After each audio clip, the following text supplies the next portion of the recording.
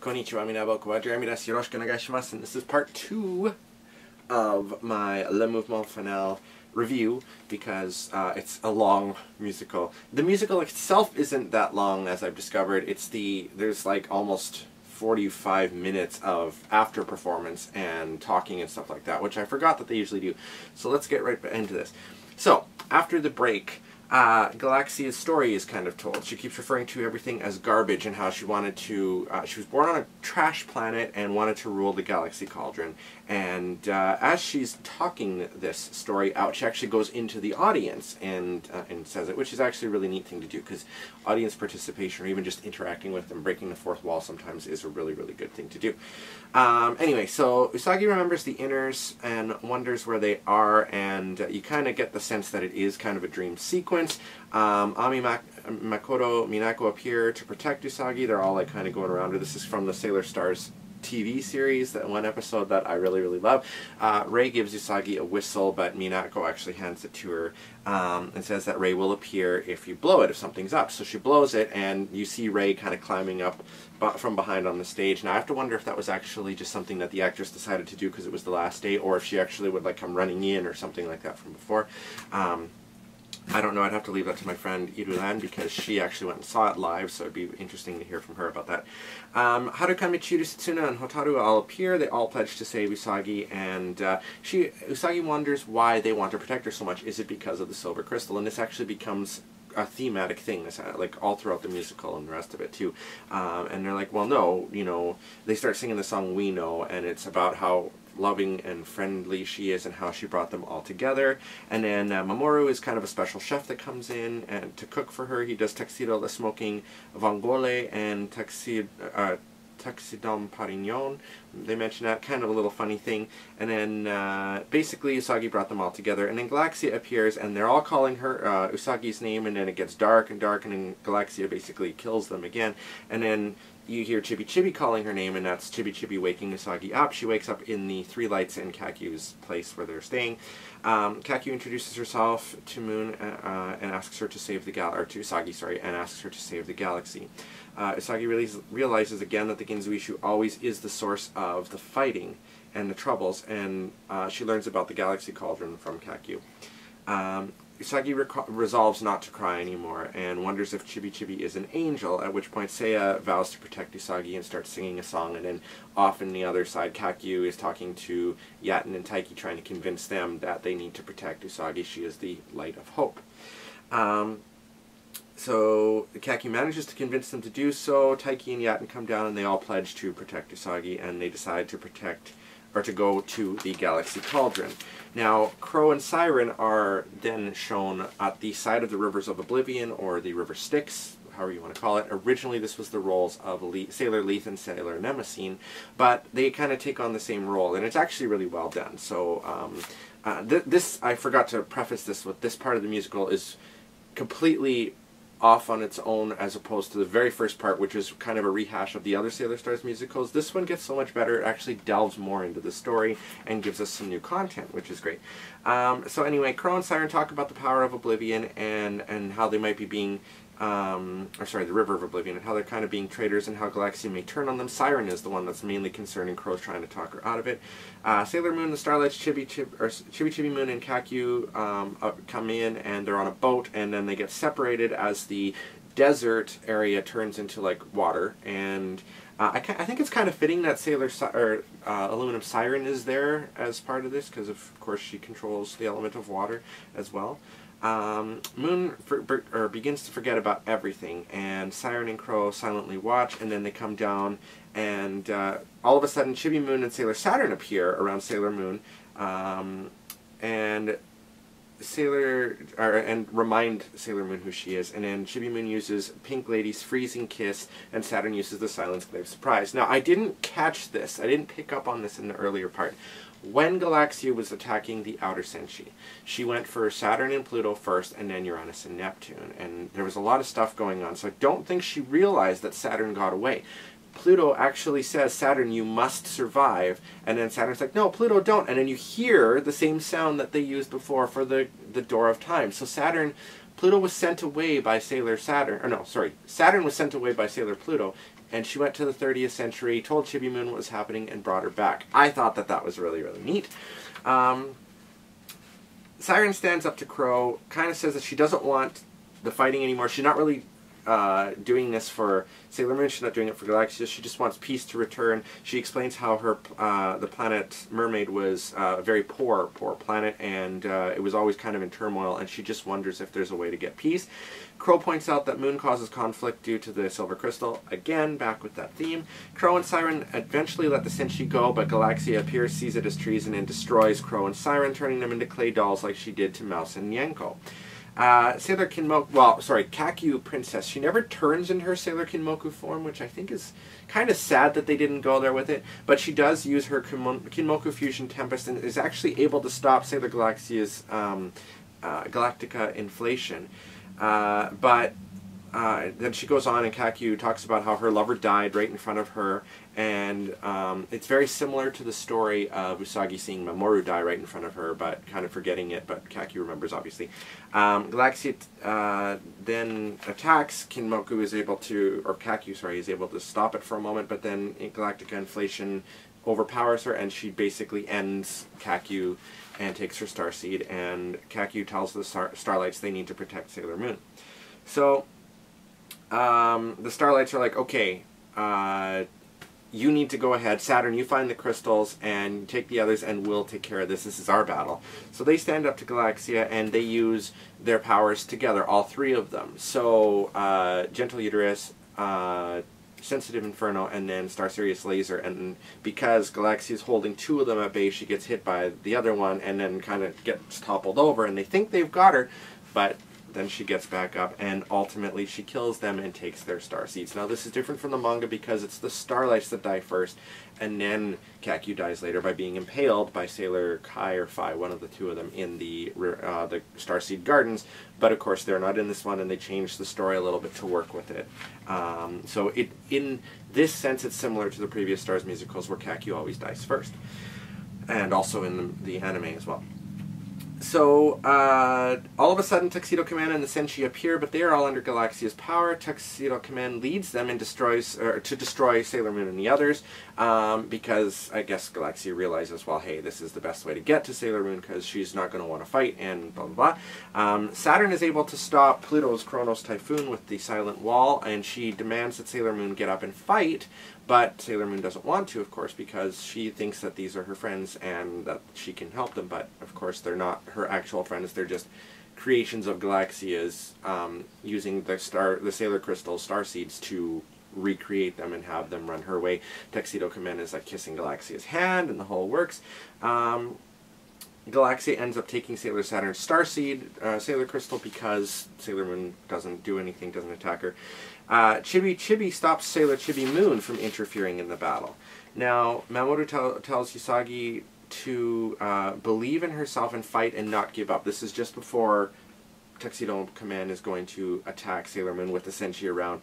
Um, and then Sailor Moon realizes, she's like, okay, I can do this, I can do this. And as she turns into Eternal Sailor Moon, um, and uses Silver Moon Crystal Power Therapy Kiss, gets rid of the evil copies, and then Galaxia and Sailor Moon are left to kind of face off with each other. Sailor Moon releases the radiance of everyone's belief in her, which then causes the Silver Crystal to lighten up.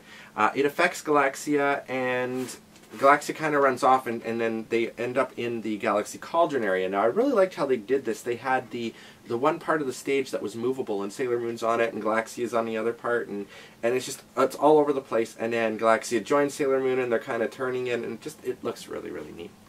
Um, so uh, Galaxia brings them to the Galaxy Cauldron where all life begins and is lost.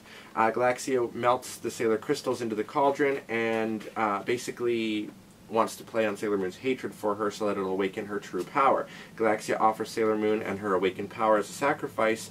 Uh, as she's overflowing with the power, Chaos tells Sailor Moon that she has slain her siblings, which, uh, of course, then goes through Beryl and to Nehelenia and so on up until now.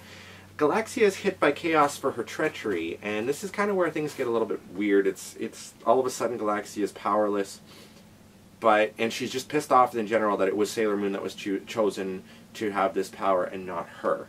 Well, Chaos basically I assume, wants Sailor Moon to go into the cauldron with him so that he can basically rule the universe with her power. Um, so Sailor Moon will become the perfect ruler of the cauldron with chaos. Galaxia wonders why Sailor Moon saved her, and Sailor Moon uh, says that she saw her own loneliness in Galaxia. Sailor Moon always fought, fought, for her loved ones and friends, not actually for peace and justice. And Galaxia obviously can't fight either and thinks that everything is, is doomed and that there won't actually be a Sailor Senshi left at all in the world or in the universe. Chibi Chibi thinks that destroying everything is the only way to stop the fighting, and Sailor Moon says she can't destroy the cauldron as it's where all life um, comes from. She realizes good and bad come from the same place. Galaxia really realizes how grand Sailor Moon is, and then suddenly just disappears, realizing Sailor Moon will shoulder everything and the burden on herself. It's it's weird. I don't know if she jumps in the cauldron or, or what the hell. She just kind of just disappears. It's almost like it's almost as bad as when they fought the door. And and if you want to see what I'm talking about, look at the other Sailor Stars musicals. They end up fighting a door in almost every single one of them. It's it's it's weird. Chibi Chibi turns into Cosmos, who has a moment with Sailor Moon, and they realize that um, she made the right decision uh, in the first place. So she came back to try to make Sailor Moon or her past self um, destroy everything, but then she realizes in that moment that actually she made the right decision, and so she just lets the events happen. Now, a screen drops, and of course we start to see Chaos's form. It's got that neat light effect. Uh, Chaos pledges to use Sailor Moon's power to rebirth himself as the strongest star in the galaxy. Sailor Moon talks about Metalia, Death Phantom, Pharaoh 19, Nehelenia, Galaxia, and Chaos all wanting Sailor Moon's power because they all shared her feelings of wanting to find friends and loved ones. And they all wanted to be one because that's what they started out as. So she decides, okay, I'll give you that then. We'll, we'll come together. And then her body starts being torn apart. Um, the Senshi start to talk to her and, and telling her that to never give up and that they're always with her and that she's not doing this alone. She has them no matter what and uh, encouraging her to, that they will always be together. Sailor Moon calls for their collective power, and you see the Sailor crystals appear, and each of the Senshi says their their name, and you know, uh, Senshi of Wisdom, Sailor Mercury, Soldier of Passion, Sailor Mars, and so on. Uh, the Sailor crystals appear, and their powers combine, and Music of the Spheres plays. All the Sailor Senshi appear, and they all perform and fight together. Uh, Sailor Moon calls from all of the Sailor Senshi power from all over the galaxy to help her. She uses Silver Moon Crystal Eternal Power, and Chaos is hit, and the crystals that were melted in the cauldron regain their shape and return to their world. So basically, they disappear, Sailor Moon and the Senshi, and it's just Cosmos and Chibi Moon left. And Chibi Moon is wondering what's going on, so Sailor Cosmos tells her what's going on. She explains that she's Sailor Moon's future self after being reborn countless times, a future even more distant than the 30th century. Cosmos explains that she was a coward who ran away from where she was supposed to be, and then explains Sailor Moon and the others will be reborn someday, and they will, um, they're probably riding the light on their way home. Sailor Moon collapsed Chaos into the cauldron, but couldn't fully destroy Chaos, and it goes like in the anime, where Chaos will live on in everyone's hearts. You can't really have the light without the dark, and it's just going to keep repeating and repeating. But as long as they have each other, and so on, then it's fine. Chibi Moon and Cosmos then watch the princesses dance and comment on how they're alive. Mamoru appears and he and Usagi reunite. They sing a song, We've... or... We've... I can't remember. I can't read my own writing. We become one again, that's what it is. Starlight's Kakyu Galaxia and the Animamates all appear and they all sing together and then they all end up leaving. So the Starlights and Kakyu go to their place, Galaxy and the Animamates all head back to their respective areas. Mamoru tells Usagi that he wants to marry her when they get back to Earth. Cosmos tells Chibi Moon that she won't run anymore and then resolves to return to the battlefield but will accompany Chibi Moon back uh, to the future as far as the 30th century and then will leave, and then everything fades to black. We hear wedding bells, Mamoru and Usagi in the tux and wedding dress. Usagi feels pregnant, basically is what it is. She feels a star inside of her, so she's just basically telling that she's pregnant. I thought it was kind of funny. Um, the inners and the outers appear wearing wedding attire as well. Uh, Usagi does the bouquet toss. Rei catches it, and Setsuna, Setsuna's really upset, and I think it's she overplayed it because um, at the, at this point, Mamoru is talking to the crowd, doing like a monologue about how everyone will always die, but Sailor Moon will stay beautiful forever. And uh, in the background, you have Setsuna; she's all upset, and then Minako's trying to help her out, and then Rei gives her the the uh, bouquet. It's, it's just kind of a funny moment, and then it fades to black. And then we see scenes appearing from each of the 2013 to 2016 musicals. So La, La Reconquista, Petite Étrangère, Un Nouveau Voyage, and um, Amour Eternal. And then, uh, now of course, Le Mouvement Final, we just watched. And then it says the end, and it's really quite sad. And then you get a whole bunch of just musical numbers on the scene, Tuxedo Kamen, Koisuru Satellite, Speed of Light, and then a solo of When Destiny Calls uh, with Yuga Yamato dressed as King Endymion. Aino Starshine, including the Starlights in it, Moonlight Densetsu, which is the entire cast, and then um, the actresses actually go out into the audience, the inner and outer senshi do. Uh, and then we have a reprise instrumental as the cast takes their bow, and then one by one they all do their, their farewells and stuff. Yuga Yamato announces that it is the end of their roles in it, um, so it's kind of an official I'm graduating type thing.